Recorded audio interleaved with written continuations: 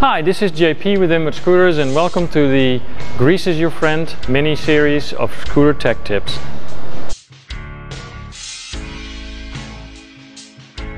Today we're going to show you how to tightly secure your scooter brake to your scooter deck so your scooter stays dialed for a longer time. What we need of course is the brake that comes with the deck. In this case it's a, a lucky deck and it has two little bolts.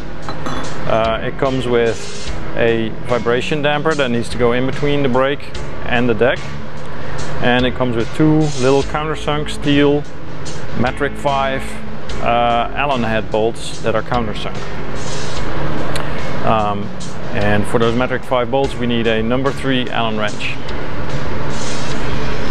And of course we need our Park Tool Polylube grease. The first application of grease I'm going to use is to uh, apply grease on top of here, on top of the brake, um, to help me stick this vibration damper on there. So it stays on there when I move the brake around and I slide it into the deck.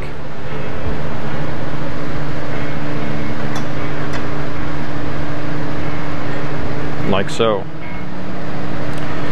And then the second application of grease that we're going to use is on these bolts. As you can see, these bolts are countersunk.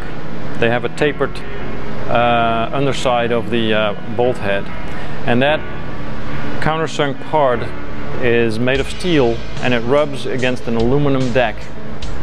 So what we want to do is we want to put some grease on the underside of that bolt. Um, you don't have to go all the way around because it will take care of that itself when you turn it in. But just make it Put a little film of grease on the underside of that countersunk bolt. Don't put it on the threads because you can see it has um, uh, Loctite on it and we don't want to we won't want to disturb that. Then take your Allen wrench and put the bolt in the right place. Next bolt, same thing. A little bit of grease on the underside of the countersunk bolt.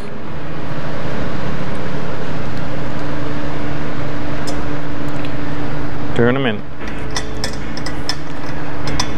And as you turn, you know, just switch between the bolts so they go in pretty much evenly. And you will notice that as you start tightening these up and you can feel them touch the top of the deck, uh, when you didn't have grease on there, it probably started squeaking and it became really difficult to turn those bolts.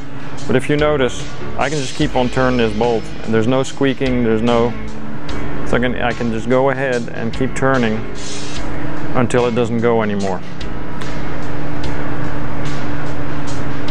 And uh, you can see that just this little bit of grease will enable you to turn these bolts in much further than before and it will hold your brake for a much longer time and it keeps your scooter dialed. Thank you for watching.